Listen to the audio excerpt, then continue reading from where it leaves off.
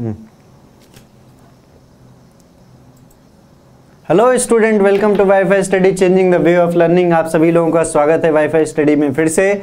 सभी लोग फटाफट आ जाइए। यहाँ पर हम दोबारा स्टार्ट करेंगे इलेक्ट्रिकल मशीन के बेसिक कॉन्सेप्ट्स यहाँ पर टॉपिक है आपका basic concepts basic concepts of rotating machine तो किसी भी किसी भी मशीन का बेसिक कॉन्सेप्ट क्या है रोटेटिंग मशीन का? यही, यहाँ पे मैं वही समझा रहा हूँ आपको।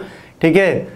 यहाँ पे आपका कम्यूटेटर लगा हुआ है। अगर कम्यूटेटर नहीं लगा होता तो भी आप तो भी आपको इलेक्ट्रिसिटी मिलती बसरते हुए आपको इलेक्ट्रिसिटी जो मिलती, वो आपको एसी मिलती, ठीक है? तो यहाँ पे मैं अभी एक बार बता चुका हूँ कि आप जब रोटेशन करा रहे हो इसका, पहले अभी आपने कंडक्टर साइड ए बी और सी डी में आपने डायरेक्शन ऑफ़ करंट हाँ फिगर के साथ ही समझा रहा हूँ। आपने direction of current find out कर लिया। अब हम यहाँ पर बिना कम्यूटेटर को रोटेट करे भी दिखाएँगे और कम्यूटेटर को रोटेट करके भी दिखाएँगे। ठीक है? तो आप सभी लोग बस यहाँ पर फटाफट आ जाइए। ये आपका ए बी है।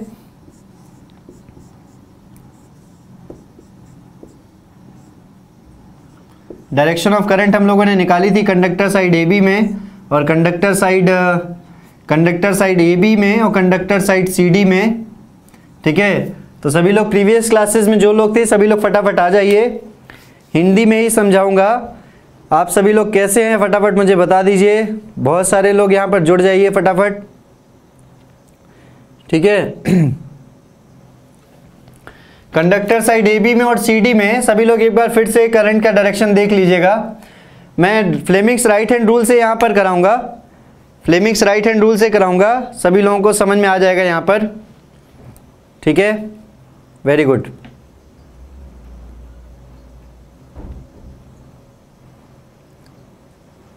वॉइस क्लियर नहीं है।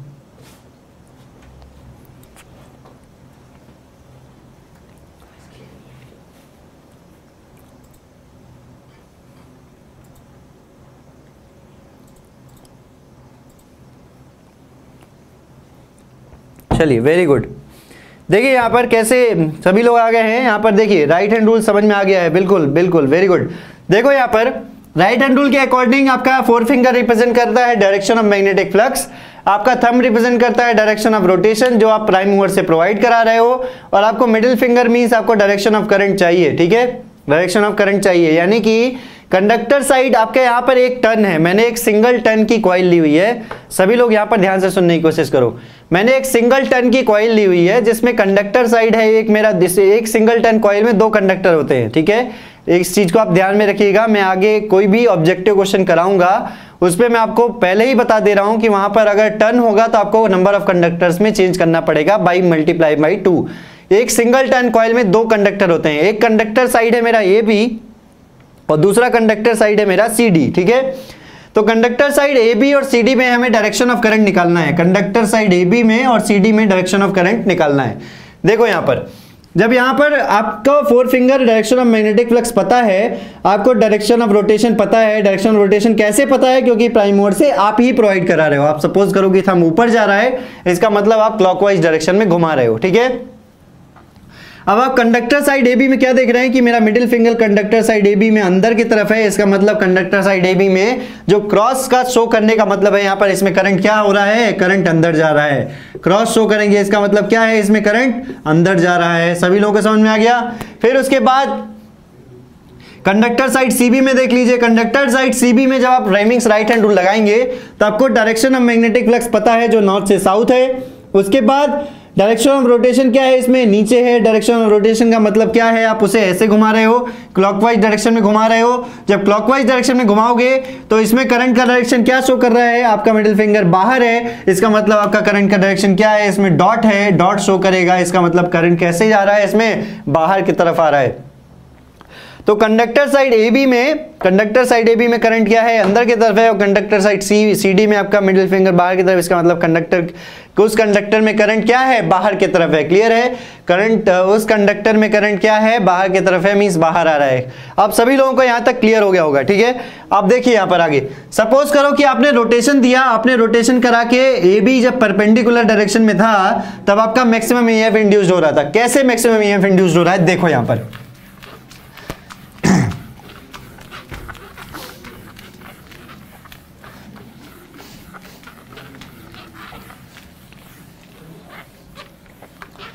देखिए यहाँ पर यहाँ पर मैं साइड में समझा रहा हूँ सभी लोगों को।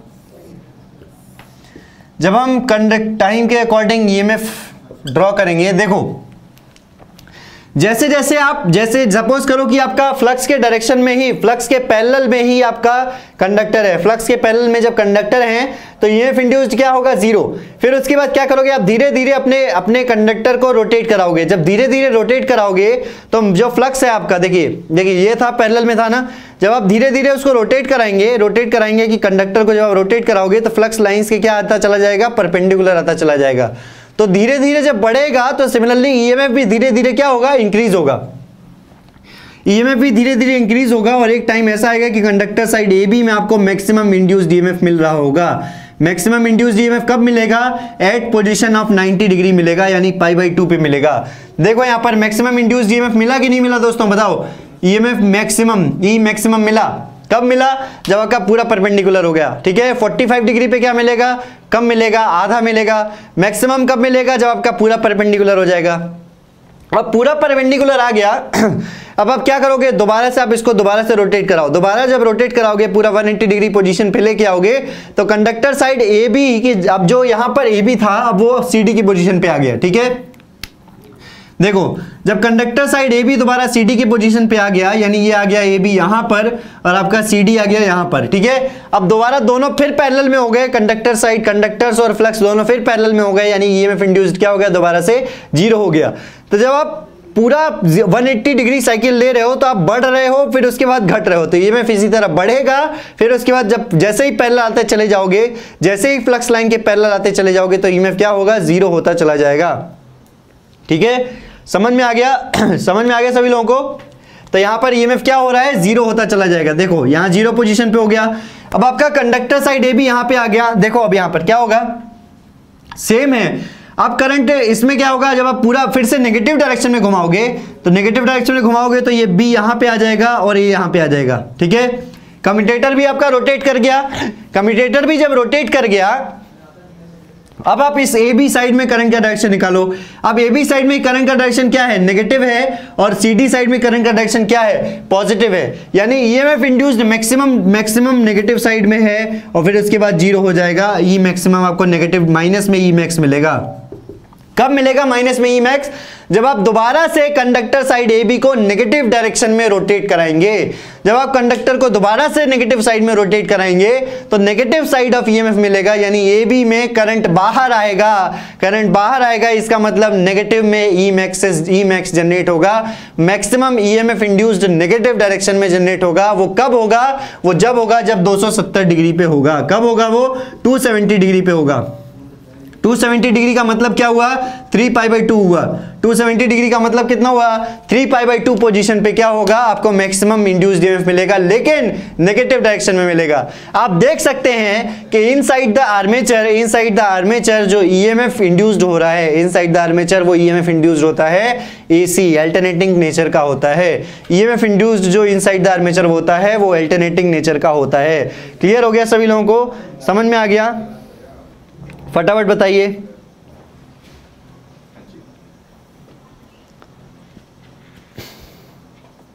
सभी लोगों को समझ में आ गया यहाँ पर?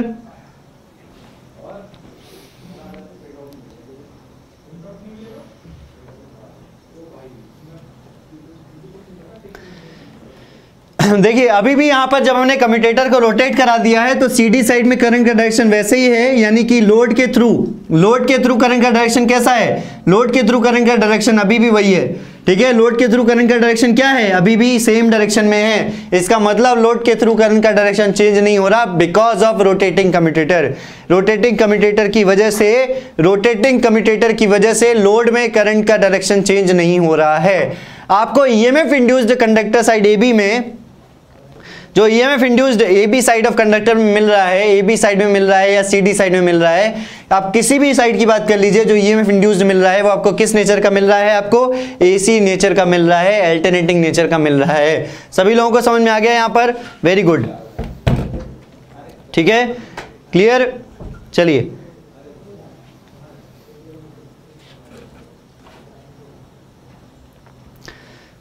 सभी लोगों को समझ में आ गया होगा यहाँ तक। बिल बिल्कुल वेरी गुड फिर से बताने का क्या है यहाँ पर रामप्रीत चौहान जी? देखो यहाँ पर रोटेट कराओ यार। अब रोटेट कराओगे तो फ्लक्स मैक्सिमम कट करेगा एक बार और एक बार मैक्सिमम कट करेगा तो ईएमएफ मैक्सिमम मिलेगा। At position three and at position three pi by two यानी कि आपका 270 डिग्री पोजीशन पे जब नेगेटिव डायरेक्शन में कट करेगा मैक्सिमम तो नेगेटिव डायरेक्शन में आपको ई मैक्स मिलेगा। देखो कंडक्टर साइड ए बी में कंडक्टर साइड ए बी में डॉट मिल रहा है ना आपको? डॉट मिलने का मतलब क्या है? कि कंडक्टर साइड ए बी में नेगेटिव इंड्यूस्ड ईएमएफ है। नेगेटिव इंड्यूस्ड ईएमएफ है, कि नहीं? माइनस में ई मैक्स मिल रहा है। कब मिल रहा है? जब पूरा जब पूरा आपका परपेंडिकुलर है। कब मिल रहा है? जब पूरा परपेंडिकुलर है। नेगेटिव में परपेंडिकुलर है नॉट पॉजिटिव में, ठीक है? समझ में आ गया? वेरी गुड कंडक्टर का पोजीशन मेंशन कर दिया है sir C D and A B ठीक है? चलिए नेक्स्ट आप देखिए, आपके सामने हेडिंग आपके सामने हेडिंग ये principle of generator principle of generator की हेडिंग थी। अभी लगाइएगा मत सर अभी मत लगाइए। ठीक है? तो देखो, अब इसी तरह जब आपका आपको पता चल गया कि आपका किसी भी मशीन में, किसी भी मशीन में आर्मेचर में जो ई ईएमएफ इंड्यूस्ड होता है, वो कैसे नेचर का होता है? अल्टरनेटिंग नेचर का होता है। ये क्वेश्चन आप सभी लोग, ये जो टॉपिक है, ये पॉइंट है, इसको दिमाग में भर लीजिएगा। कि आपका इंड्यूस्ड ईएमएफ कैसा है? इंड्यूस ईएमएफ आपका अल्टरनेटिंग नेचर का है अल्टरनेटिंग वोल्टेज है, ठीक है? ऑब्जेक्टिव में एग्जामिनेशन में पूछा जा चुका है आर्मेचर में जो इंड्यूस्ड ईएमएफ होता है, वो किस नेचर का होता है? AC first option AC second option DC third option AC and DC both D option none of the तो आपका कैसा होता है? एसी इन नेचर होता है, ठीक है? देखिए,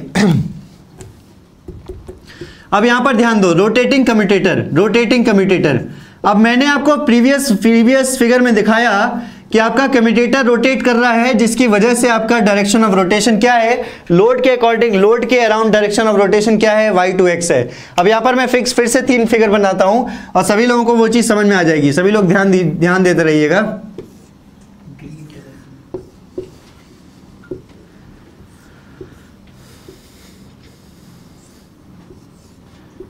ये आपका ब्रश कनेक्टेड है ए बी से।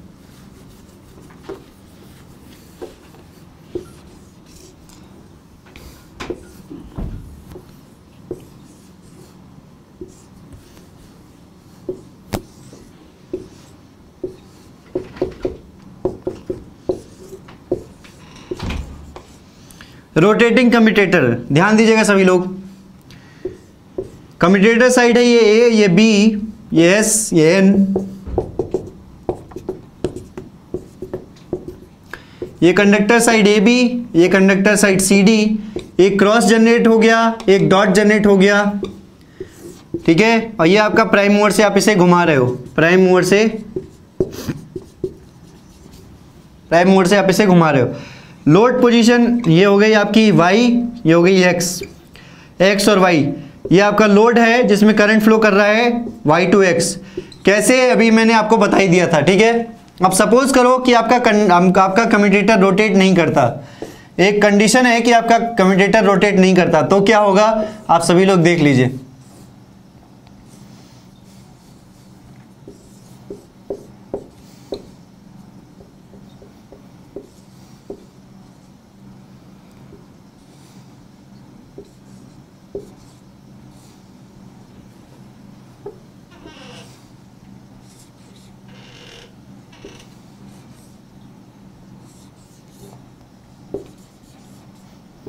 ये आपका वाई है और ये एक्स है। ये आपका लोड है। सपोज़ करो कि इसमें कम्यूटेटर रोटेट नहीं किया। देखो यहाँ पर कम्यूटेटर के मैंने दो दो सेक्शन बनाए हुए हैं। एक कम्यूटेटर सेक्शन है आपका A B A A side है ये। ए सेगमेंट है ये कम्यूटेटर का, दूसरा सेगमेंट है बी यहाँ पे भी कम्यूटेटर को रोटेट नहीं कराया। जब कम्यूटेटर को रोटेट नहीं कराया तो आपकी कॉइल देख लीजिए रोटेट कर गई है। ठीक है? आपकी कॉइल रोटेट कर गई है। है कि नहीं? आपका कॉयल जो है, वो रोटेट कर गई है। आर्मेचर की कॉयल रोटेट कर गई है। देख सकते हैं आप लोग सभी लोग फिगर में, ठीक है? अब देखो यहाँ पर, ये कंडक्टर साइड है ए बी ये कंडक्टर साइड है ए बी ये कंडक्टर साइड है सी डी ठीक है? अब देखो, यहाँ पर क्या था? Direction of direction of current क्या था? करंट अंदर जा रहा है, ये बाहर आ रहा है करंट अंदर जा रहा है, यहाँ से ऐसे जाएगा। आपका सीक्वेंस करंट मैं लिख देता हूँ, ये आपका सीक्वेंस है X small A capital B small capital A direction of current direction of current ध्यान दीजिएगा। एक्स फिर स्मॉल ए फिर कैपिटल बी फिर कैपिटल ए फिर कैपिटल सी फिर कैपिटल डी फिर उसके बाद डी के बाद आएगा स्मॉल बी फिर उसके बाद बी के बाद आएगा आपका वाई और फिर से चला जाएगा एक्स ये आपका ये आपका सीक्वेंस है करंट फ्लो होने का किसमें ये सीक्वेंस है करंट फ्लो होने का किसमें ये सीक्वेंस है इसमें इस, इस वाले फिगर में ठीक है? अब आप इसमें देखिए। इसमें देखिए जब आपका कर, जब आपका ए बी यहाँ पे है और सी डी यहाँ पे है तो करंट इसमें अंदर जा रहा है। जब करंट अंदर जा रहा है इसका मतलब इस ब्रश से अंदर जा रहा है। इस ब्रश से अंदर जा रहा है मतलब क्या है? डायरेक्शन ऑफ़ करंट ये है और इसमें कैसे आ रहा है? बाहर आ रहा है क्योंकि इसमें करंट क्या है? आउटसाइड है। क्रॉस यहाँ पे था और डॉट यहाँ पे था। था कि नहीं दोस्तों? तो देखो यहाँ पर ए बी साइड में करंट इधर से अंदर जा रहा है इधर साइड से अंदर जा रहा है। इसका मतलब जब कम्यूटेटर रोटेट नहीं हुआ what is the direction of current what is the direction of current direction of current is X through Y यानी क्या हो जाएगा? वाई स्मॉल बी फिर कैपिटल बी फिर कैपिटल ए फिर सी फिर डी फिर उसके बाद इधर थोड़ा चिप जा रहा है तो मैं इधर लिख देता हूँ। अब क्या है? Y B capital B capital A C D C D के बाद आपका करंट आ रहा है ए में ए के बाद जा रहा है एक्स में और एक्स के बाद जा रहा है वाई में। ठीक है? तो आपका क्या है? ये सीक्वेंस करंट देखो लोड के क्रॉस लोड के क्रॉस करंट का डायरेक्शन चेंज हो गया। कम्यूटेटर के पोजीशन नहीं चेंज होने की वजह से कम्यूटेटर के पोजीशन नहीं चेंज होने की वजह से लोड के क्रॉस लोड के क्रॉस आपका करंट का डायरेक्शन चेंज हो गया है। तो कम्यूटेटर क्या करता है? कम्यूटेटर आपका रोटे आपका क्या करता है? यूनि डायरेक्शन में कन्वर्ट करता है, यानी कि जो बाई डायरेक्शनल आपको मिल रहा है अल्टरनेटिंग ईएमएफ मिल रहा है आपको आर्मेचर कॉइल्स के क्रॉस उसको यूनि डायरेक्शनल में कन्वर्ट करता है एज अ मैकेनिकल रेक्टिफायर काम करता है। आपका कम्यूटेटर किस तरह काम करता है? मैकेनिकल रेक्टिफायर की तरह काम करता है, यानी यूनि डायरेक्शनल में कन्वर्ट करता है बाई डायरेक्शनल ईएमएफ को यूनि डायरेक्शनल में यूनि डायरेक्शनल में कन्वर्ट करता है। क्लियर है?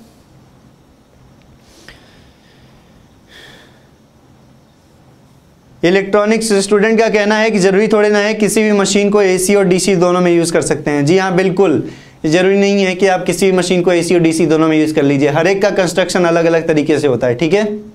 जी, बिल्कुल। समझ में आ गया यहाँ पर? कम्यूटेटर का पोजीशन नहीं चेंज होने की वजह से क्या हुआ? करंट का करंट का सीक्वेंस क्या मिला? ये मिला। आपका देख सकते हैं आप करंट का सीक्वेंस ये मिला जो कि आपका लोड के डायरेक्शन में लोड में करंट की डायरेक्शन को चेंज कर दे रहा है। कम्यूटेटर के पोजीशन नहीं चेंज होने की वजह से। इसीलिए कम्यूटेटर का रोटेट होना भी ज़रूरी है। सभी लोगों को समझ में आ गया यहाँ पर? सभी लोगों को समझ में आ गया? इसीलिए यहाँ पर रोटेट करना भी बहुत ज़रूरी है। किसको रोटेट करना बहुत ज़रूरी है? कम्यूटेटर को रोटेट करना भी बहुत ज़रूरी है। ठीक है? चलो very good next rotating commutator आपका आपको समझ में आ ही गया होगा। अब आप देखो। अब जो प्रिंसिपल ऑफ़ जनरेटर इसके पहले मैंने हेडिंग दिखाई थी अभी आप लोगों को, वो मैं फिर से दिखाऊँगा। और फिर से उसके बाद उसको पढ़ना, लेकिन उससे पहले फिगर देख लो। उससे पहले फिगर देख लीजिए।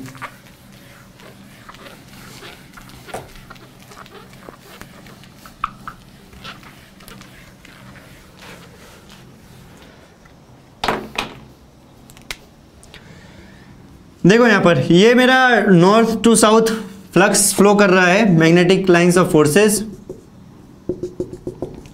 अब इसमें मैं मैं आपको पोजीशन वाइज दिखाऊँगा और उसके बाद ये मैं इंड्यूस्ड दिखाऊँगा, ठीक है? ये पोजीशन है आपकी magnetic flux magnetic flux lines है ये मैग्नेटिक फ़ील्ड लाइंस हैं।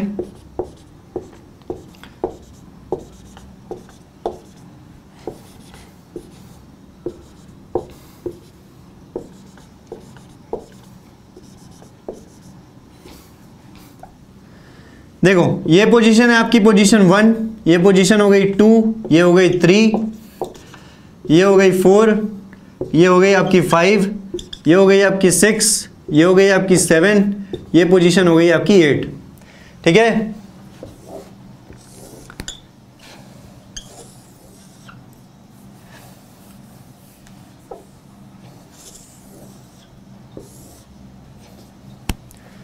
सभी लोगों को दिख रहा है? हाँ वेरी गुड ये है आपका one position two position sorry three position पे मैक्सिमम है। Three position four position five पे ज़ीरो सिक्स सेवन पे मैक्सिमम एंड एट पे ज़ीरो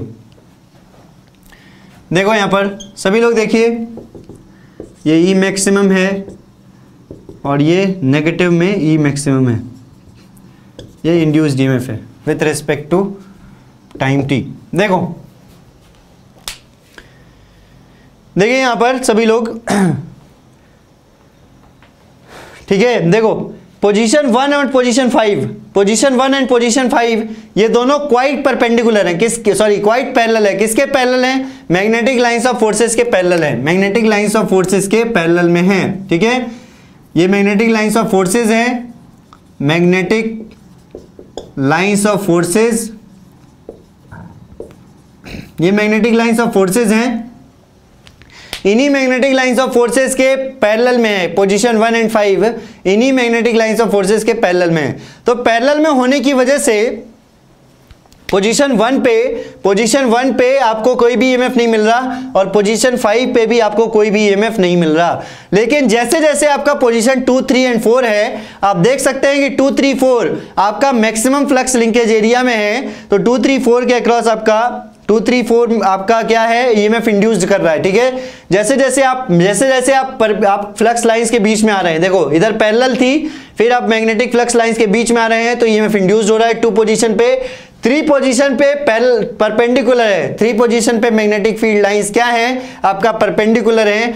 पर प्योरली परपेंडिकुलर है, यानी theta is equals to approximately 90 degree है। इसी को हम कहेंगे मैग्नेटिक न्यूट्रल एक्सिस इसी को हम क्या कहेंगे? Magnetic neutral axis magnetic neutral axis क्या होती है? आपकी मैग्नेटिक फ्लक्स लाइन से 90 डिग्री पे होती है। मैग्नेटिक फ्लक्स लाइन से 90 डिग्री पे होती है। जहाँ पे आपको क्या मिलता है? आपको मैक्सिमम ईएमएफ इंड्यूस मिलता है। जहाँ पर आपका पोजीशन थ्री एंड फाइव है। Position three and seven sorry position three पे और पोजीशन सेवन पे आपका मैक्सिमम फ्लक्स लिंकेज हो रहा है। पोजीशन थ्री पे एंड पोजीशन सेवन पे मैक्सिमम फ्लक्स लिंकेज हो रहा है, जहाँ पे हमें मैक्सिमम ईएमएफ इंड्यूस मिल रहा है। थ्री पे देख लीजिए और फाइव पे देख लीजिए। थ्री पे देख लीजिए और सेवन पे देख लीजिए। देखो यहाँ पर, मिल रहा है कि नहीं दोस्तों? सेवन पे आपको माइनस में ईमैक्स मिल रहा है और थ्री पे आपको प्लस का ईमैक्स मिल रहा है, ठीक है? और उसके बाद पोजीशन अगेन पोजीशन एट पे क्या हो रहा है? अगेन पोजीशन एट पे क्या हो रहा है? ईएमएफ ज़ीरो हो जा रहा है, ठीक है? पोजीशन एट पे क्या हो रहा है? ईएमएफ पोजीशन एट पे यहाँ पे रहेगा पोजीशन वन पोजीशन वन पे अगेन क्या हो जा रहा है? ईएमएफ ज़ीरो हो जा रहा है. क्लियर हो गया होगा यहाँ पर सभी लोगों को? सभी लोगों को क्लियर हो गया होगा? जी हाँ एट पर कुछ वैल्यू होगी. शुभम खंडोटा जी, ठीक है? वेरी गुड क्लियर है सभी लोगों को यहाँ पर? अब जितने लोगों को समझ में आ रहा है, सभी लोग फटाफट, यार, थोड़ा सेशन को लाइक करते रहो। शेयर करते रहो दोस्तों में और सब्सक्राइब कर दो चैनल को जिन लोगों ने अभी तक नहीं किया है। दोस्तों में शेयर करते रहिए ताकि ज़्यादा से ज़्यादा स्टूडेंट इस चीज़ को पढ़ पाएँ, ज़्यादा से ज़्यादा इसको स्टूडेंट समझ पाएँ, ठीक है? चलिए।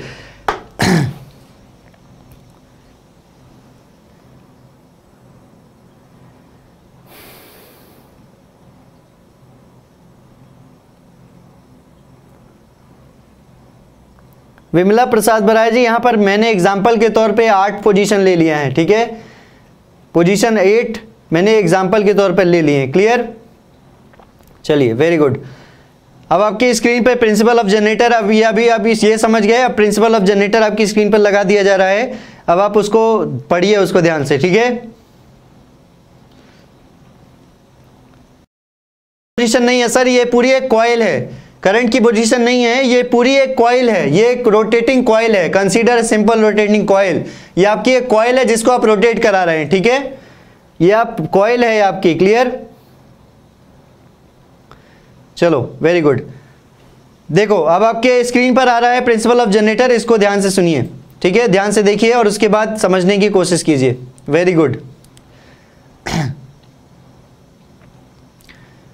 यहाँ पे कुछ लोग डिसलाइक वाले भी हैं, पता नहीं उन लोगों को प्रॉब्लम क्या हो रही है। कोई बात नहीं, चलिए कुछ लोगों को नहीं पसंद आता है तो वो लोग डिसलाइक करते हैं, कोई बात नहीं, ठीक है? आपकी स्क्रीन पर प्रिंसिपल ऑफ़ जनरेटर का लग चुका है, ठीक है? आप उसको ध्यान से पढ़ो। ये पूरा एक कॉयल है क्लियर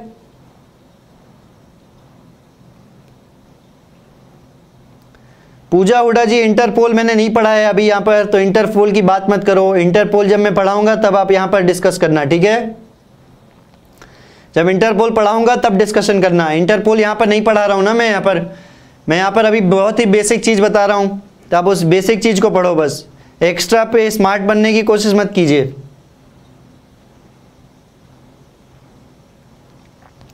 त्रिपाठी ज्ञानेश दो पर ईएमएफ इंड्यूस होना चालू हो रहा है। दो पर देखो दो दो पोजीशन ये है।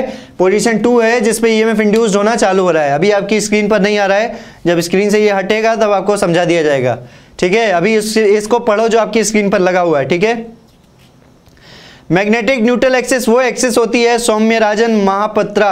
Magnetic neutral axis वो एक्सिस होती है जहाँ पर आपका मैग्नेटिक फ्लक्स नहीं होता, ठीक है? मैग्नेटिक फ्लक्स के परपेंडिकुलर होता है। जहाँ पर मैग्नेटिक फ्लक्स नहीं होता, वही एक्सिस मैग्नेटिक न्यूट्रल एक्सिस होती है, ठीक? फ्लक्स के परपेंडिकुलर, जहाँ पर आपका कोई भी मैग्नेटिक फ्लक्स नहीं होता, क्लियर?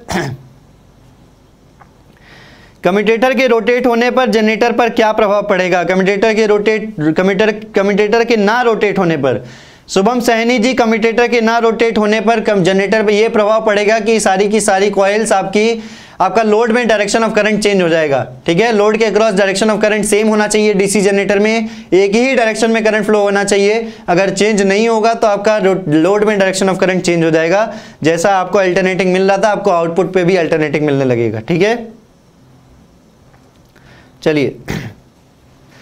एम का मतलब है मैग्नेटिक न्यूट्रल एक्सिस जीएनए का मतलब है जेमेट्रिकल न्यूट्रल एक्सिस जीएनए का मतलब है geometrical neutral axis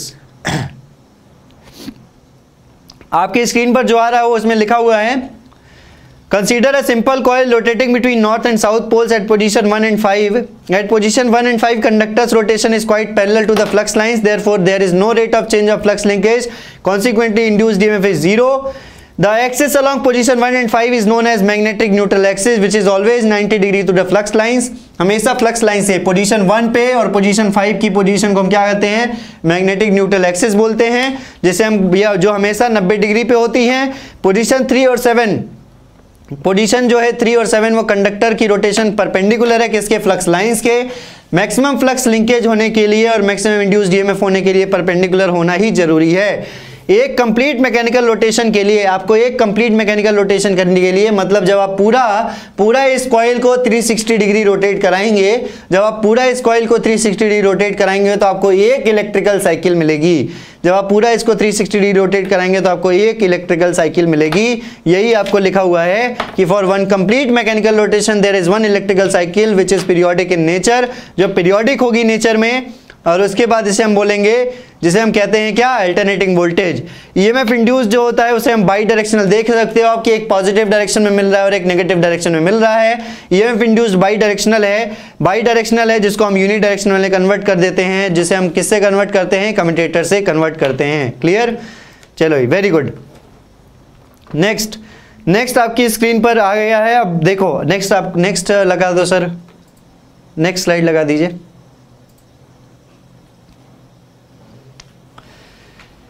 Amit Ashapure, ji geometrical neutral axis वो एक्सिस होती है जहाँ पर आपका मैकेनिकल बैलेंस मेंटेन रहता है, ठीक है? रोटर आपका मैकेनिकल बैलेंस नेचर पे होता है। ज्योमेट्रिकल न्यूट्रल एक्सिस वही एक्सिस होती है, ठीक है?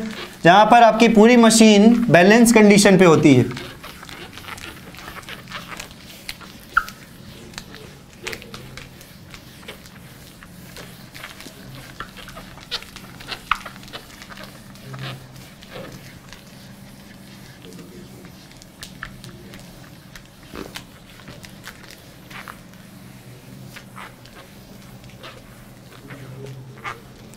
चलो, आपकी स्क्रीन पर, आपकी स्क्रीन पर,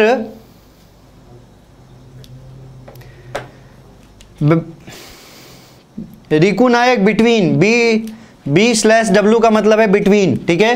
कंस्ट्रक्शनल डिटेल्स चलिए। कंस्ट्रक्शनल डिटेल्स में आपके सामने है common features of rotating electrical machine तो common features of rotating electrical machine के कॉमन फीचर्स क्या हैं? Consist of stationary part known as stator and rotating part rotating part known as rotor with minimum possible air gap.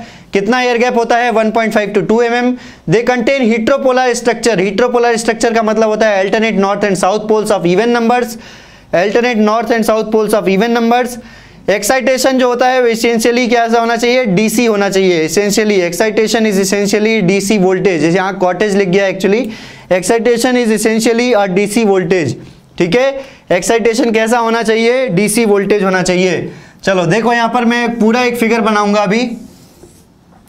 DC generator का और सभी लोग उसको अपनी अपनी कॉपी में बना लीजिएगा, ठीक है? चलो। नहीं।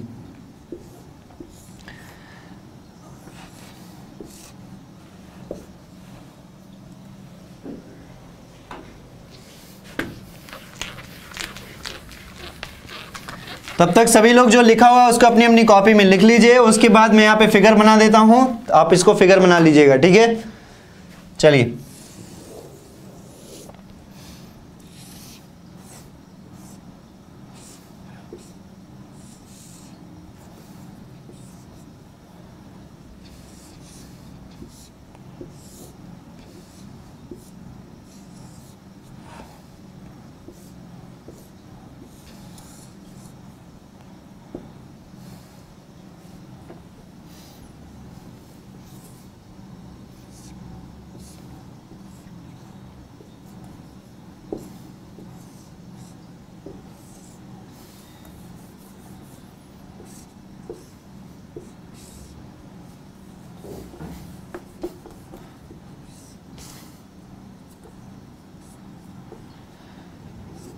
कंस्ट्रक्शनल डिटेल का फिगर बना रहा हूँ दोस्तों आपकी स्क्रीन पर।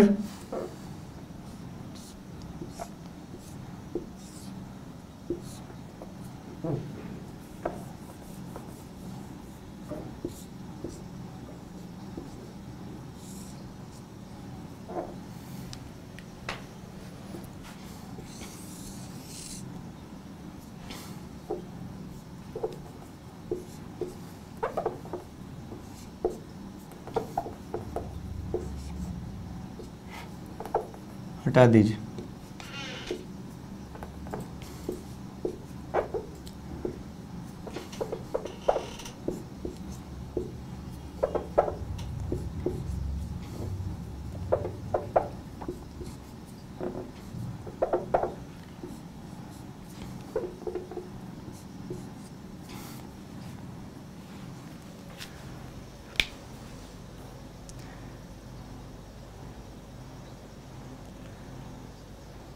नीरज यादव इलेक्ट्रिकल जीएनए भी मैं बताऊँगा।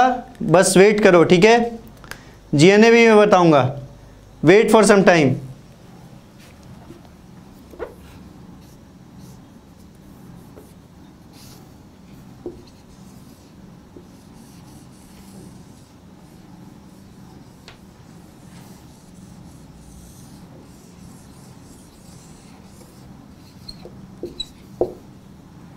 ये डीसी सप्लाई है आपकी?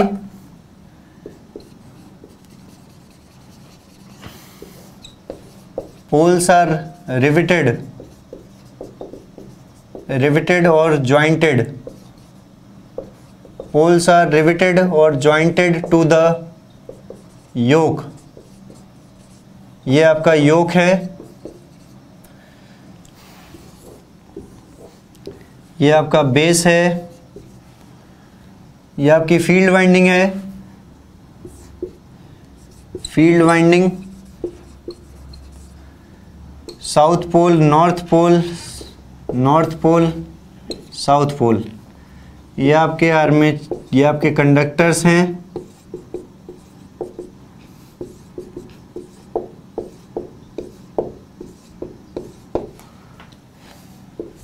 These are armature conductors armature conductors और वाइंडिंग। आर्मेचर कंडक्टर और वाइंडिंग। ठीक है? हम्म। और यहाँ पे आपकी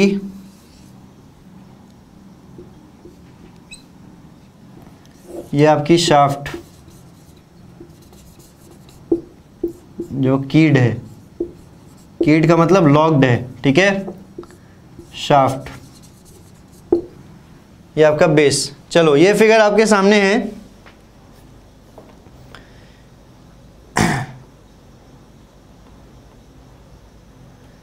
ठीक है, पंकज पाल जी का कहना है आर्मेचर क्या होता है?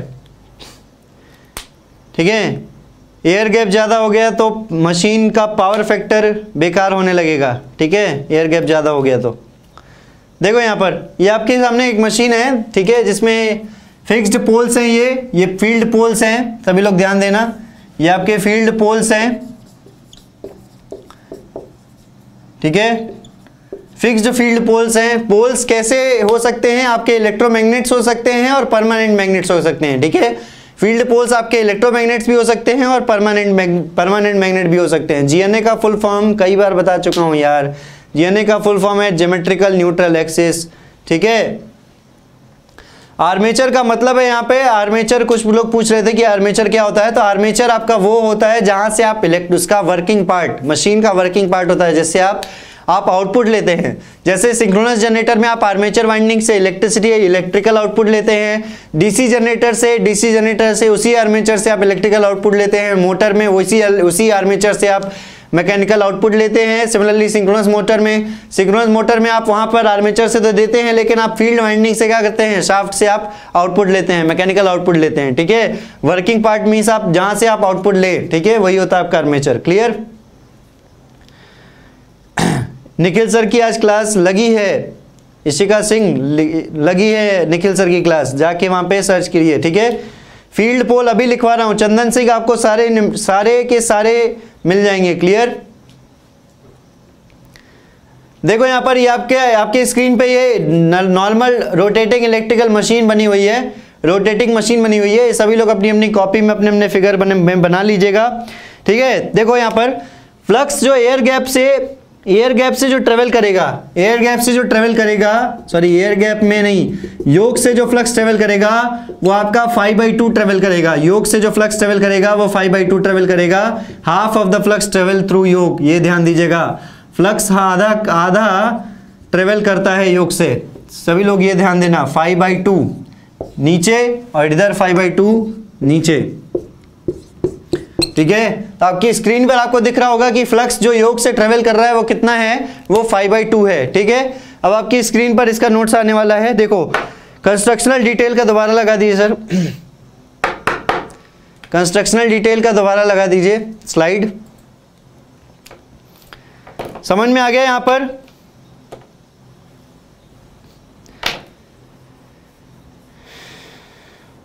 कितना ट्रेवल करेगा? फ्लक्स योग के through five by two flux travel करेगा योग के थ्रू तो योग के क्या प्राइमरी फ़ंक्शंस हैं? योग के क्या प्राइमरी फ़ंक्शन है? योग के तीन तीन फ़ंक्शन है. एक प्रोटेक्टिव कवरिंग की तरह कार्य करता है पूरे मशीन के लिए. Act as protective covering to the entire machine ये सपोर्ट करता है पोल कोर को. पोल कोर को ये सपोर्ट करता है. और ये फ्लक्स पाथ के कंप्लीशन को प्रोवाइड कराता है। यानी कि अगर फ्लक्स पर पोल पास कर रहा है फाई तो योग से जो पर फ्लक्स पाथ करे, योग से जो फ्लक्स पास करेगा, योग से जो फ्लक्स पास करेगा, वो half of the magnetic flux होगा। यानी अगर phi is the total flux phi is the total flux तो यहाँ पे फाइव बाई टू फ्लक्स जो है, वो आपका योग से पास करेगा। समझ में आ गया? अरे अभी रुक जाओ, दीपक कुमार, सब लिखवा रहा हूँ यार, सब बता रहा हूँ, ठीक है? चलिए नेक्स्ट आपके नेक्स्ट स्लाइड लगा रहे हैं नेक्स्ट स्लाइड लगा दीजिए। नेक्स्ट स्लाइड आपकी स्क्रीन पर आ रही है, उसको ध्यान से पढ़िएगा।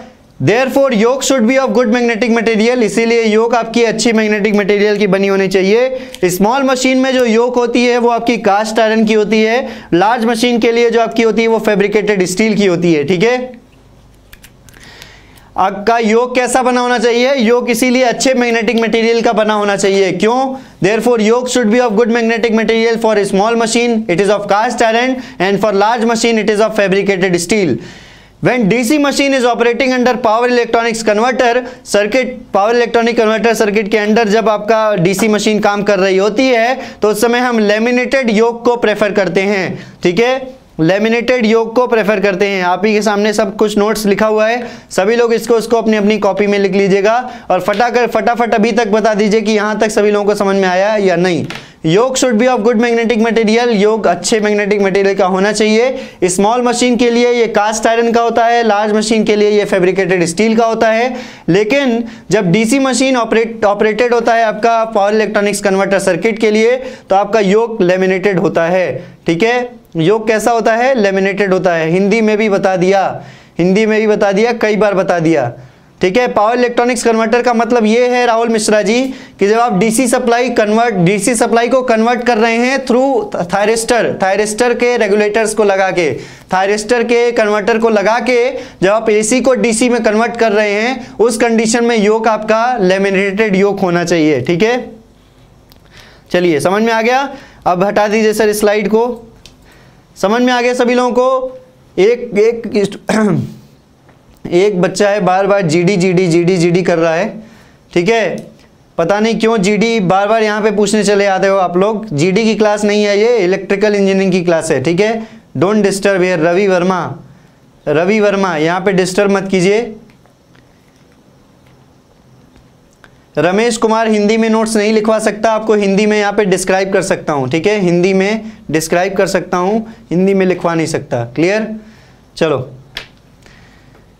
यहाँ तक सभी लोगों को समझ में आ गया, किसी को भी किसी भी तरीके का प्रॉब्लम है तो फटाफट बताइए। नेक्स्ट आपकी स्क्रीन पर आ रहा है नेक्स्ट स्लाइड नहीं तो पोल्स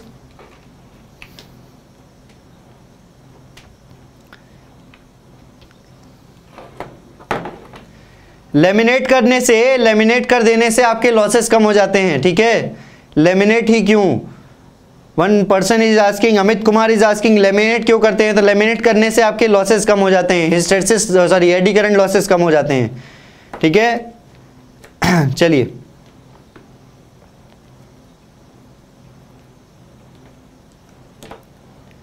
लेमिनेट कर देने से आपके लॉसेस कम हो जाते हैं अमित कुमार लेमिनेट कर देने से आपके लॉसेस कम हो जाते हैं। लेमिनेट कर देना मीन्स आपके पतली पतली स्ट्रिप्स में डिवाइड कर देना। लेमिनेट कर देने का मतलब ये होता है कि पतली पतली स्ट्रिप्स में डिवाइड कर देना। पूरे के पूरे योग को आप पतली पतली स्ट्रिप्स में डिवाइड कर दीजिए। जीडी की क्लास यहाँ पर मत पूछो, ये इलेक्ट्रिकल इंजीनियरिंग की क्लास है। यहाँ पे डिस्टर्ब बहुत ज़्यादा हो जाता हूँ मैं, जब भी आप जीडी की क्लास बार बार पूछते हैं। ठीक है? लॉसेस कम हो जाते हैं यहाँ पर, ठीक है? चलिए वेरी गुड सारे तरीके के लॉस होते हैं Shubham Saini ji ji C D generator में, कोई स्पेशल नहीं है मशीन ठीक है? चलो वेरी गुड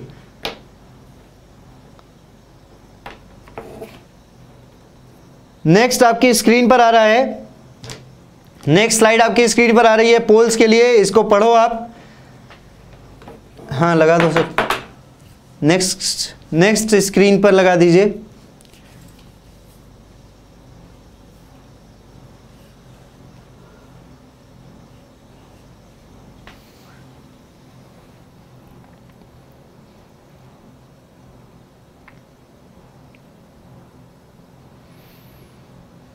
पोल्स लिखा हुआ आपके सामने पोल्स सभी लोग इसको इसको लिख लीजिएगा अपनी अपनी कॉपी में. मैग्नेटिक मीडियम एक लॉसलेस मीडियम होता है. There is no loss as an electric circuit like heat ठीक है? मैग्नेटिक मीडियम हमेशा क्या होता है? आपका एक लॉसलेस मीडियम होता है. वहाँ पर कोई भी एक इलेक्ट्रिक लॉस नहीं होता. कोई भी एक हीट की तरह लॉस नहीं होता. ठीक है? The basic function of the pole is to produce working flux यहाँ पे मार्किंग फ्लक्स लिख गया है. The basic function of the pole is to produce working flux the basic source of flux is permanent magnet and the flux around it the basic source आपका flux का है, वो permanent magnet है और उसके चारों तरफ़ का फ्लक्स है, ठीक है? फ्लक्स का बेसिक सोर्स क्या है? फ्लक्स का बेसिक सोर्स है आपका परमानेंट मैग्नेट और उसके फ्लक्स जो उसके चारों तरफ़ फ्लक्स है, जो कंट्रोलेबल नहीं होता। In order to control the machine in order to control the machine its flux should not should be controlled controlled in nature machine को कंट्रोल करने के लिए जो फ्लक्स है उसको कंट्रोल करना बहुत ज़रूरी है। In order to control the flux in in order to control the machine it's flux should be controllable in nature therefore electromagnets are use इसीलिए इलेक्ट्रोमैग्नेट्स का यूज़ किया जाता है। ठीक है? Order to produce definite poles, the polarity of a pole depends upon two things. The first one is excitation, second one is orientation. ठीक है? अब आप यहाँ पर इस चीज़ को समझने की कोशिश कीजिएगा जो मैं बता रहा हूँ। ठीक है, आपका पहले फिर से पढ़ लो एक बार। मैग्नेटिक मीडियम लॉसलेस मीडियम होता है। वहाँ पर कोई भी इलेक्ट्रिक सर्किट की तरह लॉस नहीं होता कि जैसे इलेक्ट्रिक सर्किट में हीट लॉस होता है आई स्क्वायर आर लॉस होता है। ठीक है? बेसिक फ़ंक्शन है पोल का वर्किंग फ्लक्स को प्रोड्यूस करना। तो बेसिक सोर्स फ्लक्स का क्या है? परमानेंट मैग्नेट है और उसके और उसके चारों तरफ़ का फ्लक्स है। ठीक है? जो हमेशा कंट्रोलेबल होना चाहिए, जो हमेशा कंट्रोलेबल होना चाहिए, लेकिन नहीं होता। तो कंट्रोल करने के लिए क्या करोगे आप? कंट्रोल करने के लिए आप क्या करोगे? इलेक्ट्रोमैग्नेट्स का यूज़ करोगे। इलेक्ट्रोमैग्नेट्स का यूज़ करोगे। अब इलेक्ट्रोमैग्नेट्स और परमानेंट मैग्नेट्स का यूज़ कहाँ पे करते हैं? सभी लोग ध्यान से सुनने की कोशिश कीजिएगा। ठीक है? सर, हटा दीजिए स्लाइड इलेक्ट्रोमैग्नेट्स और परमानेंट मैग्नेट्स कहाँ पे यूज़ करते हैं? और एक्साइटेशन और ओरिएंटेशन का मतलब क्या है? ये भी ध्यान दीजिएगा कि आपकी स्क्रीन पर लिखा हुआ है in order to produce definite poles in order to produce definite poles the polarity of pole depends upon two things polarity of pole pole की पोलरिटी दो चीज़ों पे डिपेंड करती है कि आप एक्साइटेशन किस तरीके का दे रहे हैं और ओरिएंटेशन यानी आपने पोल पे वाइंडिंग किस तरीके की बांधी है। ठीक है? इस चीज़ को समझने की कोशिश कीजिएगा। ठीक है? फैब्रिकेटेड स्टील का मतलब होता है आपने उसमें किस मटेरियल किसी मटेरियल को मिक्स किया है, ठीक है? फैब्रिकेट किया है। ओरिएंटेशन का मतलब बता रहा हूँ अभी अभी बता रहा हूँ, ठीक है? देखो यहाँ पर। परमानेंट मैग्नेट परमानेंट मैग्नेट्स और इलेक्ट्रोमैग्नेट्स का मतलब क्या है? तो परमानेंट मैग्नेट का मतलब क्या है? सपोज़ करो कि आप लार्ज साइज़ की मशीन का यूज़ कर रहे हैं, ठीक है? इलेक्ट्रोमैग्नेट्स का मतलब यह है कि आपने आयरन का पीस तैयार किया उस आयरन के पीस में अगर आपने इलेक्ट्रिसिटी दी, जैसे मैं यहाँ पे ये आयरन के पीस में अगर मैं कॉइलिंग कर दूँ, इसको मैं बेसिक में भी बता चुका हूँ। आयरन के पीस में अगर मैं कॉइलिंग कर दूँ तो यहाँ पर क्या होगा? ये प्लस है, ये माइनस है तो गर्म होता चला जाएगा। और देखो आप करंट का डायरेक्शन अगर ये है तो ये एक फ्लक्स प्रोड्यूस करेगा। फ्लक्स कैसे प्रोड्यूस करेगा? क्योंकि नॉर्थ पोल क्रिएट हो जाएगा यहाँ पे और साउथ पोल क्रिएट हो जाएगा यहाँ पे। आयरन क्या पीस आपका बन जाएगा मैग्नेट। इसे ही हम बोलते हैं इलेक्ट्रोमैग्नेट। मैग्नेट जो बनता है इलेक्ट्रिसिटी की वजह से, ठीक है? मैग्नेट जो प्रोड्यूस होता है इलेक्ट्रिसिटी की वजह से, यही आपका क्या कहलाता है? इलेक्ट्रोमैग्नेट कहलाता है। ठीक है? अब देखो आप इसका यूज़ कहाँ कहाँ करते हो। हमेशा ध्यान देना कि इलेक्ट्रोमैग्नेट्स का यूज़ हम करते हैं इलेक्ट्रो इलेक्ट्रोमैग्नेट का यूज़ करते हैं हम स्मॉल मशीन्स में। इलेक्ट्रोमैग्नेट्स का यूज़ करते हैं स्मॉल मशीन्स में, जबकि परमानेंट मैग्नेट का यूज़ करते हैं हम लार्ज मशीन्स में। ठीक है? इलेक्ट्रोमैग्नेट्स का यूज़ कहाँ पे करेंगे हम? स्मॉल मशीन्स में करेंगे, और परमानेंट मैग्नेट्स का यूज़ कहाँ पे करेंगे? लार्ज मशीन्स में करेंगे। क्यों ऐसा करेंगे? ध्यान से सुनो। देखो जब आपका लार्ज मशीन्स होती है तो जब वहाँ पे आप परमानेंट मैग्नेट, जो हार्ड स्टील से बने होते हैं, हार्ड स्टील से बने होते हैं, हार्ड मटेरियल से बने होते हैं, जिनका हिस्टेरिस एरिया ज़्यादा होता है, जिसमें हिस्टेरिस लॉस ज़्यादा होते हैं। लेकिन सारे लॉस के, लॉसेस को ओवरकम करते हुए भी हम लार्ज साइज़ मशीन्स में हार्ड, सॉरी, परमानेंट मैग्नेट्स का यूज़ करते हैं। क्यों? क्योंकि मशीन को जब आप बंद करने के बाद दोबारा स्टार्ट करते हैं तो वहाँ पर आपको इलेक्ट्रिसिटी अलग से ना देने की ज़रूरत पड़े, आपका वो जो रेजिडुअल मैग्नेटिज्म जो पहले से मैग्नेटिक फ्लक्स बचा हुआ है, वो फ्लक्स ही आपका ईएमएफ जनरेशन के लिए काफ़ी हो। दैट इज़ वाई हम लार्ज मशीन जो बड़ी साइज़ की मशीनें होती हैं, वहाँ पर इसीलिए हम परमानेंट मैग्नेट का यूज़ करते हैं। सपोज़ करो कि अगर हम वहाँ पर इलेक्ट्रोमैग्नेट्स का यूज़ कर रहे होते तो क्या होता? अगर आप वहाँ इलेक्ट्रोमैग्नेट्स का यूज़ कर रहे होते तो आपको उसको मैग्नेटिक फुल मैग्नेट चाहिए फुल फ्लक्स क्रिएट करने के लिए। यानी कि सपोज़ करो कि आपको फाइव फ्लक्स चाहिए। तो उस फाइव फ्लक्स को प्राप्त करने के लिए आपको बहुत देर तक सप्लाई की रिक्वायरमेंट होती। बहुत देर तक आपको उसको मैग्नेट बनाने की ज़रूरत पड़ती। यानी कि आप उसे पहले मैग्नेट बनाते, फिर उसके बाद आप क्या करते ईएमएफ का जनरेशन करते, जिससे आपको टाइम लगता। तो वहाँ पर इसीलिए हम किस किस मैग्नेट का यूज़ करेंगे परमानेंट मैग्नेट का यूज़ करेंगे। यानी कि अब लार्ज साइज़ के मैग्नेट को ले आइए और वहाँ पर उसको ज्वाइंट कर दीजिए या रिवेट कर दीजिए। स्मॉल मशीन में क्या होता है? स्मॉल स्मॉल मशीन में क्या होता है? स्मॉल मशीन्स में स्मॉल मशीन में आप इलेक्ट्रिसिटी दे के आप स्मॉल इलेक्ट्रिसिटी दे के आप उसको मैग्नेट बना सकते हैं। जब आप एक बार मैग्नेट बना लेंगे तो that small part of I small part of I that small part of I enough to create EG ठीक है? ईजी को जनरेट करने के लिए काफ़ी है, क्योंकि जनरेटेड ईएमएफ आपका P five N Z upon sixty A होता है, जो डिपेंड करता है फ्लक्स पे और स्पीड पे। तो अगर अगर आपका स्मॉल फ्लक्स है तो भी वो जनरेटेड ईएमएफ को क्या कर देगा? जनरेट कर देगा।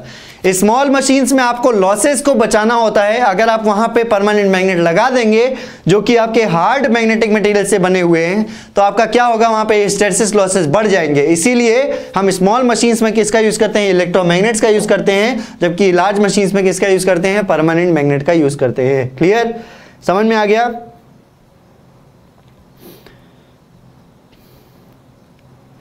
राहुल मिश्रा जी सब डेटा मिलेगा, सारा कुछ डेटा मिलेगा। वेट कर लो, सब कुछ एक बार में मशीन में नहीं पढ़ाया जा सकता, ठीक है? हम एक एक चीज़ को धीरे धीरे लेके चलेंगे। चलिए।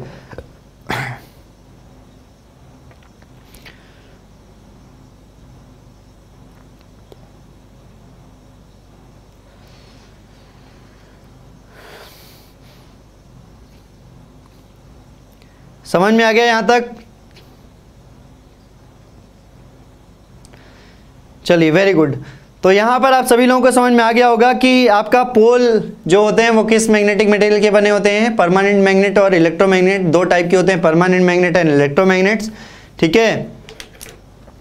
लॉस के बारे में यहाँ पर मैं आपको बाद में बताऊँगा कि जो आपका लॉस देखो हार्ड मैग्नेटिक मटेरियल्स यानी परमानेंट मैग्नेट का यूज़ करोगे जो आपके हार्ड मैग्नेटिक मटेरियल्स के बने हुए हैं सॉफ्ट मैग्नेटिक मटेरियल होता है, एक हार्ड मैग्नेटिक मटेरियल होता है। देखो हार्ड मैग्नेटिक मटेरियल में क्या होगा? हार्ड मैग्नेटिक मटेरियल में आपका जो हिस्टेरिसिस एरिया है, ये हिस्टेरिसिस का कर्व है। सभी लोग ध्यान देना, ये हिस्टेरिसिस का कर्व है। तो आपका हिस्टेरिसिस कर्व क्या होगा? हिस्टेरिसिस कर्व ज़्यादा है। किसका? किसका ज़्यादा है? हिस्टेरिसिस कर्व ज़्यादा है आपका। ये देख सकते हो आप। ये आपका हार्ड के लिए जिसका हिस्टेरिसिस कर्व ज़्यादा है। और आपका नेक्स्ट, ध्यान देना, ये आपका सॉफ्ट के लिए है। ठीक है? ये आपका सॉफ्ट मैग्नेटिक मटेरियल्स के लिए, जिसका हिस्टेरिसिस कर्व क्या है? कम है। ठीक है? हाँ सॉरी इस तरीके से बनेगा।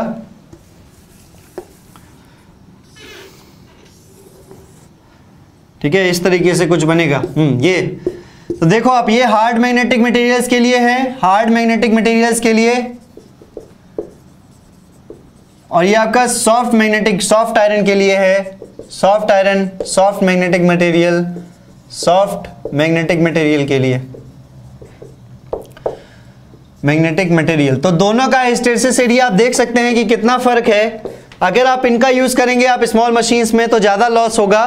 अब इनका यूज़ करेंगे, आप लार्ज मशीन में तो लॉस को कंपनसेट किया जा सकता है। वहाँ पे ज़्यादा रेटिंग है। साइज़ की जो मशीन जो मशीन का साइज़ ऑलरेडी बहुत ज़्यादा है, वहाँ पे स्मॉल लॉसेज आर कंपनसेट उनको कंपनसेट कर सकते हैं, जबकि स्मॉल मशीन्स में आप कंपनसेट नहीं कर सकते। क्लियर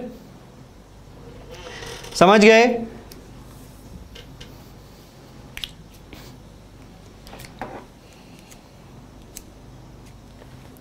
चलिए वेरी गुड अब आप देखिए आगे इसके बाद आपका लिखा हुआ है कि पोल आपका डिपेंड करता है दो, पोलैरिटी ऑफ़ पोल जो डिपेंड करता है वो दो चीज़ों पे डिपेंड करता है। किस पे किस पे डिपेंड करता है? ओरिएंटेशन पे डिपेंड करता है और एक्साइटेशन पे डिपेंड करता है ठीक है?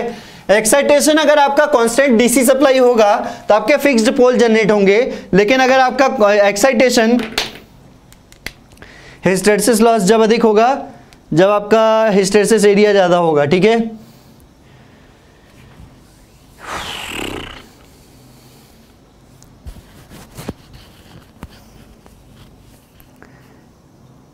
लार्ज मशीन में winding permanent magnet. Vimla Prasad Barai ji का कहना है, लार्ज मशीन में सर परमानेंट मैग्नेट जब आप लगा दोगे तो वहाँ पे वहाँ पे आप वाइंडिंग परमानेंट मैग्नेट पे नहीं करते हो। परमानेंट मैग्नेट पे उस समय कोई वाइंडिंग नहीं होती है, ठीक है?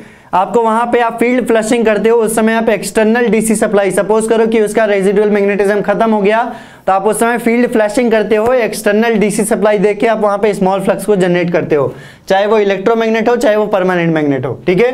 ध्यान दीजिए इधर। ओरिएंटेशन पे डिपेंड करता है और एक्साइटेशन पे डिपेंड करता है। तो मैं यहाँ पे दो फिगर बनाऊँगा और दोनों फिगर अपनी अपनी कॉपी में आप सभी लोग बना लीजिएगा।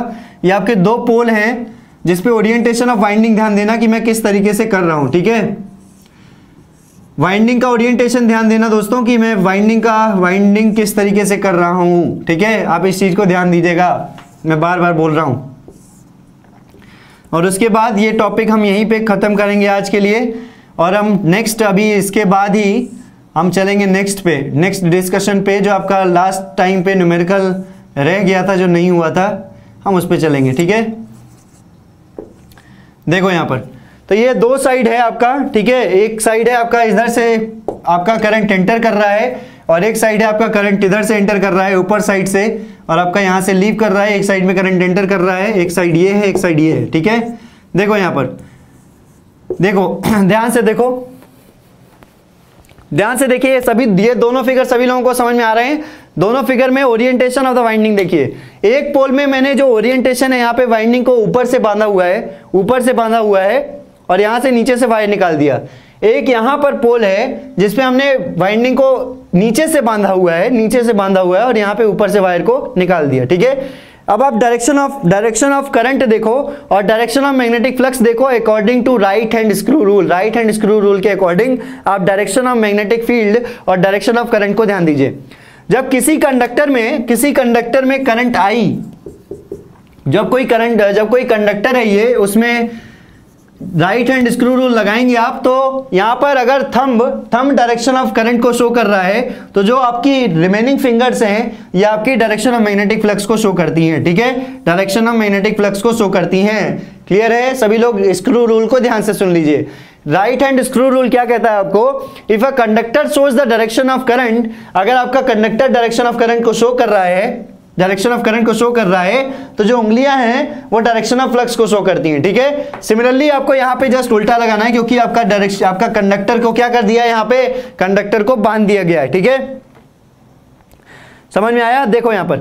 आपका क्या है यहाँ पर? आपको इस यहाँ पर बाँध दिया है तो हम डायरेक्शन ऑफ़ करंट क्या हो गया मेरा? डायरेक्शन ऑफ़ करंट देखो direction of current sorry direction of current देखो यहाँ पर। अंदर जा रहा है ना दोस्तों? इसमें डायरेक्शन ऑफ़ करंट क्या है? अंदर जा रहा है। और यहाँ पे बाहर आ रहा है। यहाँ पे देखो, यहाँ से बाहर आएगा। आप एक साइड में अगर यहाँ पे डायरेक्शन ऑफ़ करंट देखो कि यहाँ से अंदर घुस रहा है और फ्लक्स किधर है? नीचे है। यानी कि ये कौन सा पोल हो गया? ये नॉर्थ पोल हो गया। और यहाँ पे ध्यान दो, यहाँ पे डायरेक्शन ऑफ़ करंट क्या है? डायरेक्शन ऑफ़ करंट आपका बाहर निकल रहा है। देखो यहाँ पर बाहर निकल रहा है। जब आप बाहर निकलेगा तो इसका मतलब अंदर पोल के अंदर कैसे फ्लक्स ट्रेवल करता है? साउथ से नॉर्थ नॉर्थ ट्रेवल करता है। तो ये पोल के अंदर वाला पार्ट है। यहाँ नॉर्थ हो जाएगा और यहाँ साउथ है, यहाँ नॉर्थ है तो यहाँ साउथ है, ठीक है? देखो, जब ये पोल के अंदर की बात होगी, फ्लक्स कैसे ट्रेवल करेगा? फ्लक्स आपका ऊपर शो कर रहा है ना दोस्तों? फ्लक्स ऊपर शो कर रहा है, इसका मतलब साउथ यहाँ पे होगा नॉर्थ यहाँ होगा, तभी तो पोल के अंदर साउथ से नॉर्थ जाएगा। समझ में आ गया यहाँ पर सभी लोगों को? क्लियर हो गया? ओरिएंटेशन का ओरिएंटेशन का मतलब क्लियर हो गया? बताइए यहाँ पर ओरिएंटेशन और एक्साइटेशन का मतलब क्लियर हो गया कि नहीं?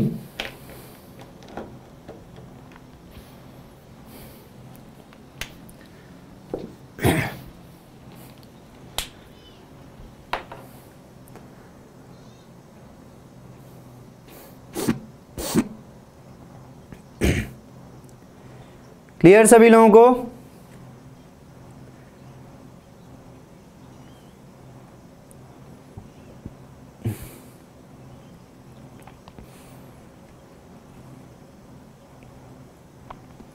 ओके okay, मैं फिर से बता देता हूँ एक बार। पोल टॉपिक है पोल चल रहा है। चलो देखो देखो यहाँ पे मैं एक बार फिर से बता देता हूँ। आपने एक एक एक वाइंडिंग आपने देखो ऐसे बाँध रखी है। आपने पहले इस वाइंडिंग में सपोज़ करो कि आपके सामने एक आयरन का पीस था। आपने आयरन के पीस में मैंने आपने ऐसे ऊपर से वाइंडिंग कर रखी है। यानी आपने ऐसे बांधा और ऐसे ऐसे बाँध के आप नीचे से अपने कंडक्टर को निकाल लिया। एक आपका तरीका यह है कि आपने नीचे से बांधा और आपने यहाँ से ऐसे ऐसे वाइंडिंग करके यहाँ से ऊपर से निकाल लिया, ठीक है? अब आपको यहाँ पे इन पोल को डिसाइड करना है कि ये पोल कैसे आए। आपने यहाँ पे सप्लाई दे दी। सप्लाई कौन सी दी? डीसी सप्लाई दी। अगर आप एसी सप्लाई देते तो क्या होता? एसी सप्लाई अगर देते तो यही पोल बार बार चेंज होता। एक बार एक बार साउथ बना तो एक बार नॉर्थ बनता, फिर एक बार साउथ बनता, ठीक है? नॉर्थ एंड साउथ बार बार चेंज होते रहता। आपने फिक्स सप्लाई दे दिया डीसी सप्लाई दे दिया। अब देखो डायरेक्शन ऑफ़ करंट क्या है? डायरेक्शन ऑफ़ करंट यहाँ पे जो है, ये देखो, यहाँ पे अंदर से गया वायर और इसमें डायरेक्शन ऑफ़ करंट क्या है? बाहर निकल रहा है। हम किसी एक को रेफरेंस मान के करेंगे, ठीक है? एक को रेफरेंस मानेंगे। यहाँ पे अंदर से जो वायर अंदर से जो वायर जा रहा है, जो आपको दिख नहीं रहा है, जो अंदर से वायर जा रहा है, उसमें करंट का डायरेक्शन क्या है? बाहर है। तो आपका डायरेक्शन ऑफ़ करंट अगर ये है, बाहर है तो आपका थंब क्या रिप्रेजेंट कर रहा है? ऊपर रिप्रेजेंट कर रहा है ना? जो थंब ऊपर रिप्रेजेंट कर रहा है तो इसका मतलब क्या है? इसका मतलब ये है कि पोल के अंदर हम डायरेक्शन ऑफ़ फ्लक्स को बता रहे हैं। तो पोल के अंदर पोल के अंदर डायरेक्शन ऑफ़ फ्लक्स क्या होता है? साउथ से नॉर्थ होता है। तो साउथ से नॉर्थ देखो अब जा रहा है, इसका मतलब ये पोल कौन सा हुआ? ये पोल साउथ पोल हुआ। सिमिलरली यहाँ पे ध्यान दो कि यहाँ पे आपने डायरेक्शन ऑफ़ करंट को ये दिखा रहा है कि आप डायरेक्शन ऑफ़ करंट देखो अंदर वायर अंदर वाले वायर की बात यहाँ भी कर रहे थे तो अंदर वाले वायर की बात यहाँ भी करेंगे। अब इसमें देखो डायरेक्शन ऑफ़ करंट क्या है? अंदर जाता हुआ है। डायरेक्शन ऑफ़ करंट अंदर जा रहा है, इसका मतलब थंब क्या रिप्रेजेंट कर रहा है? नीचे। थंब नीचे रिप्रेजेंट कर रहा है, इसका मतलब ये क्या है कि ये दिखा रहा है कि फ्लक्स बाहर जा रहा है। इसका मतलब ये नॉर्थ पोल हो गया और फ्लक्स यहाँ से ऐसे निकलेगा और साउथ में एंटर कर जाएगा। समझ में आ गया सभी लोगों को? अभी यहाँ पर सभी लोगों को समझ में आ गया होगा। क्लियर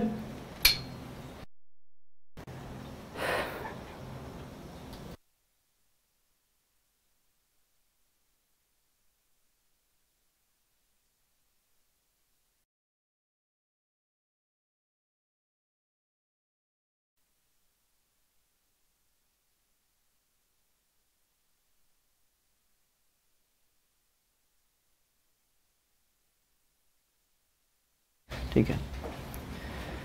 ठीक है दोस्तों, समझ में आ गया सभी लोगों को यहाँ पर? इसमें चला दो आगे।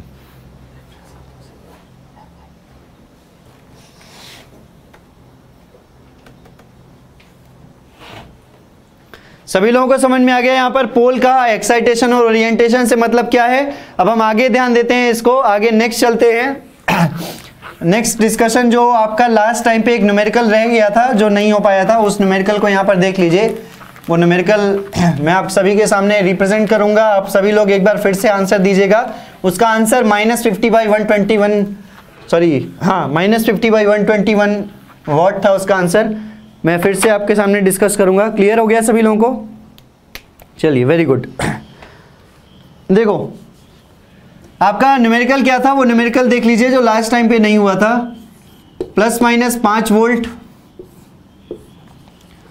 ये आपका, आप ही में से किसी स्टूडेंट का डाउट है, और यहाँ पे डाउट मैं यहाँ पे क्लियर करता हूँ कभी कभी तो ये आपका दो ओम का रेजिस्टेंस है। सभी लोग फटाफट इसका आंसर दीजिएगा। ये माइनस प्लस में वी है, और ये आपका करंट है।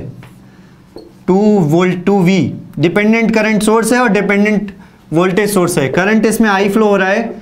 इसमें निकालना था power by dependent current source power by dependent current source power by dependent current source option A है 50 बाई 121 वॉट बी ऑप्शन है माइनस में 50 बाई 121 वॉट सी ऑप्शन था 10 बाई 11 वॉट और डी ऑप्शन था आपका minus ten by eleven watt सभी लोग इसका आंसर देने का ट्राई कीजिए, जो लोग आज नए हैं, उसके बाद मैं यहाँ पर इसको सॉल्व करता हूँ, ठीक है? सभी लोग इसका आंसर दीजिए। मशीन अब इसके बाद रिमेनिंग टॉपिक्स जो मशीन के रह गए हैं, वो मैं आपको कल कराऊँगा, ठीक है? जो रिमेनिंग टॉपिक्स रह गए हैं आपके मशीन के, वो मैं आपको कल कराऊँगा। सभी लोग फटाफट इसका आंसर दीजिए और उसके बाद हम नेक्स्ट क्लास में मिलेंगे।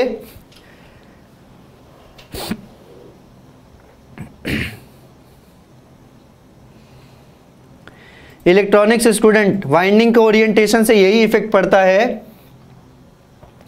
कि आपके पोल चेंज हो जाते हैं, ठीक है?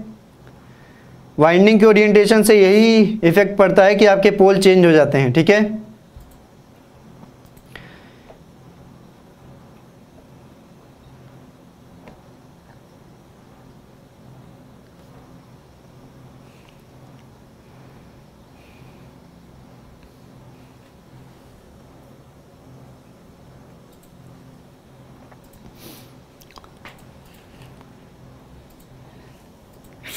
प्रदीप कुमार, आपको यहाँ से ब्लॉक होना है क्या?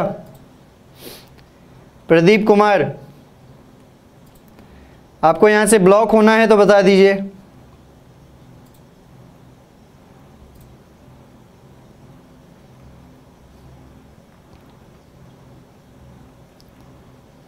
आराधना पाठक जीडी की क्लास के बारे में मुझे कोई इंफॉर्मेशन नहीं है, ठीक है?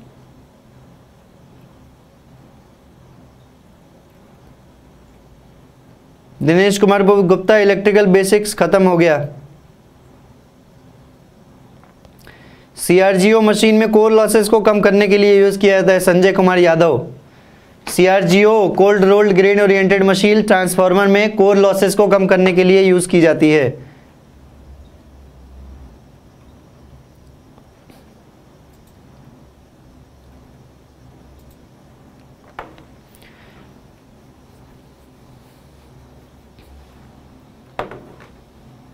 डिपेंडेंट करंट सोर्स के द्वारा जो पावर डिलीवर हो रही है, वही पावर बतानी है, ठीक है? चलो, कोई आंसर नहीं दे रहा है बार बार यहाँ पीडीएफ पीडीएफ कर रहे हैं सभी लोग। मैंने यहाँ पे स्लाइड तैयार करवा दी, अभी भी लोगों को पीडीएफ ही चाहिए। देखो, कैसे करेंगे इस क्वेश्चन को? यहाँ पे एक बार केवीएल लगाइए इसमें। तो केवीएल लगाओगे तो आपको क्या मिलेगा? फाइव माइनस में आई माइनस में थ्री आई। माइनस में, प्लस में वी जो वोल्टेज का ओरिएंटेशन आपका गिवन है, वही ले लो आप। तो V इज़ इक्वल्स टू क्या हो जाएगा? फोर आई माइनस में फाइव हो जाएगा, ठीक है? इस चीज़ को ध्यान दीजिए कि जब आप के लगा देंगे तो जो V इस वोल्टेज की वैल्यू है, इस वोल्टेज को प्लस में ले लीजिए और V की वैल्यू आ जाएगी फोर आई माइनस में फाइव अब आप यहाँ पर के लगा दीजिए। तो यहाँ पर के लगाओगे तो आपको क्या मिलेगा? I प्लस में, I प्लस में two V is equals to V divided by two ये मिलेगा। जो करंट आ रही है, यहाँ पे आई आ रही है और टू वी आ रही है और प्लस में यहाँ पे करंट जा रही है। तो करंट जो जा रही है, वो है माइनस में वी डिवाइडेड बाई टू यानी प्लस में प्लस में V divided by two is equal to zero ठीक है? सपोज़ करो कि यहाँ से भी करंट आ ही रही है। तो ये क्या हो जाएगा? प्लस में V divided by two clear सभी लोगों को क्लियर हो गया यहाँ पर? ये वोल्टेज है, देखो यहाँ पर, ये वोल्टेज है माइनस में वी ना, माने माइनस साइड यहाँ पे है तो माइनस वी ऊपर हो गया।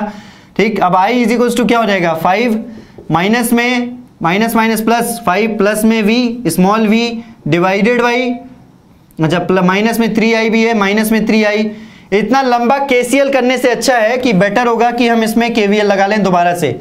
इतना लंबा केसीएल करने से अच्छा है कि हम इसमें दोबारा केवीएल लगा लें, ठीक है? देखो, हम दोबारा केवीएल लगाएँगे तो फाइव माइनस में आई माइनस में थ्री आई और प्लस में वी अब यहाँ पे जो करंट जा रहा है, वो कितना जा रहा है? आई प्लस में टू वी जा रहा है कि नहीं? आई प्लस में टू वी जा रहा है तो कितना हो गया? टू आई प्लस में टू वी ये हो गया आपका इज़ इक्वल टू ज़ीरो ठीक है? फाइव माइनस में आई माइनस में थ्री आई प्लस में टू आई प्लस अब वी की वैल्यू आपने निकाल ली है फोर आई माइनस में फाइव तो two into four I minus में five is equal to zero minus में five is equal to zero तो फाइव माइनस में फोर आई प्लस में टू आई, प्लस में, ये कितना हो गया? Eight I.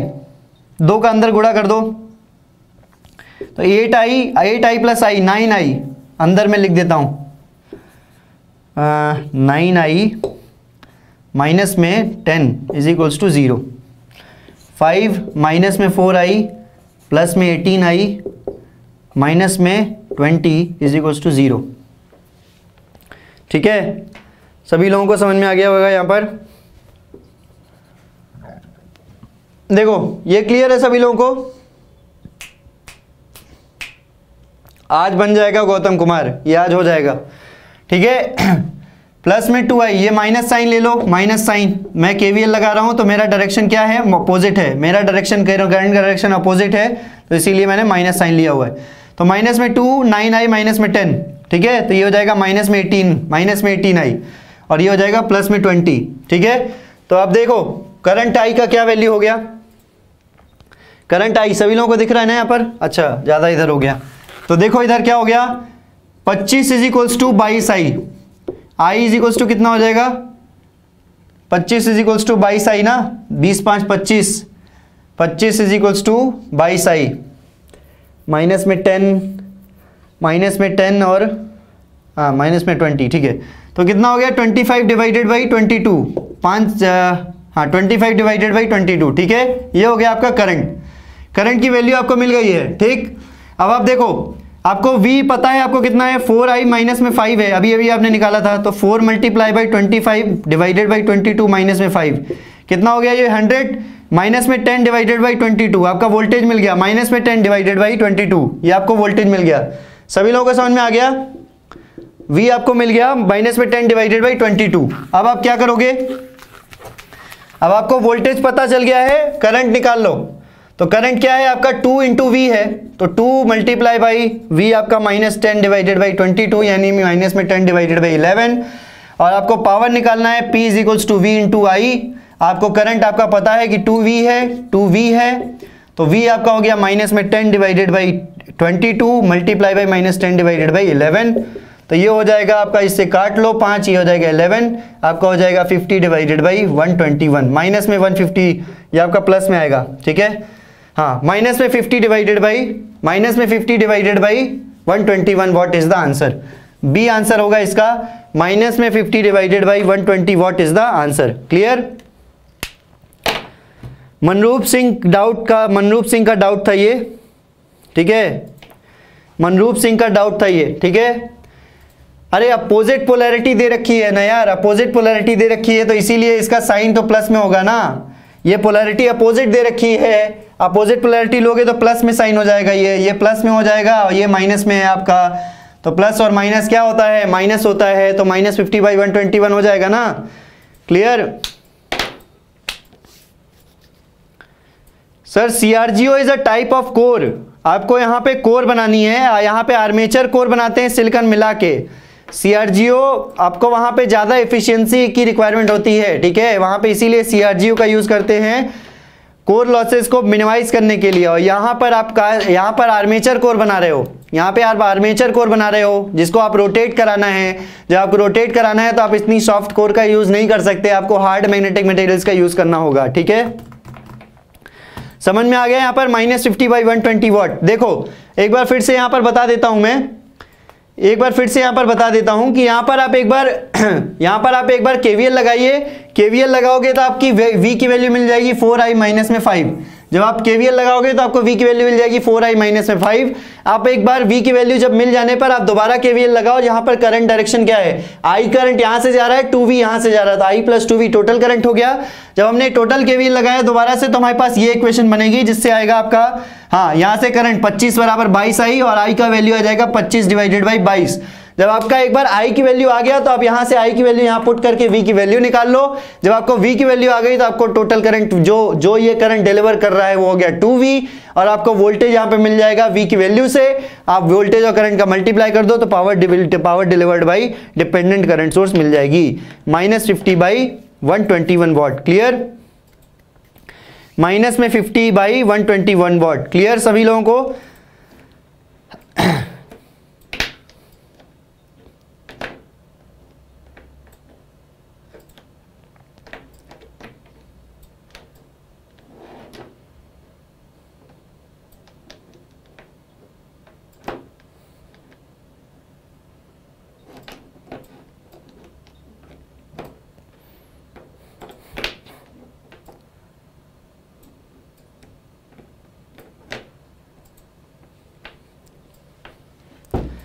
चलिए वेरी गुड अब बाकी सारे स्टूडेंट नेक्स्ट क्लास में हम लोग कल मिलेंगे अब मशीन के नेक्स्ट टॉपिक के साथ. नेक्स्ट कल मैं स्टार्ट करूँगा आर्मेचर कोर ठीक है? आर्मेचर कोर स्टार्ट करूँगा और उसके बाद मशीन ऐसे ही कंटिन्यूस चलती रहेगी जब तक मशीन पूरा पूरा ख़त्म नहीं हो जाता, ठीक है? हर एक मशीन को हम डिटेल में पढ़ेंगे विथ रीज़न पढ़ेंगे कि कहाँ पर, क्यों, किस लिए यूज़ किया जाता है. आपके डाउट यहाँ पर क्लास को ज़्यादा डिस्टर्ब मत किया करो। आप ही के डाउट को डिस्कशन करूँगा मैं। जब यहाँ पे पूरा का पूरा टॉपिक पढ़ा लूँगा। बीच बीच में जब मुझे टाइम मिलता है तो मैं यहाँ पर देखता भी हूँ डाउट डिस्कशन भी करता हूँ। क्लास को डिस्टर्ब मत किया कीजिए प्लीज़ मैं सभी लोगों से रिक्वेस्ट कर रहा हूँ। ठीक है? चलिए। नेक्स्ट अब बाकी कल मिलते हैं। तब तक के लिए गुड नाइट सभी लोगों के लिए, सभी लोगों को थैंक यू यहाँ पर जुड़ने के लिए। जितने सारे लोग आज जुड़े हैं यहाँ पर। क्लास पसंद आए तो यहाँ पर लाइक कीजिएगा शेयर करिएगा, दोस्तों में ज़्यादा से ज़्यादा, और सब्सक्राइब करिएगा चैनल में जो आज नए हैं, ठीक है? बाकी ये डाउट था आपका क्लियर हो गया। थैंक यू सो मच चलिए बाय बाय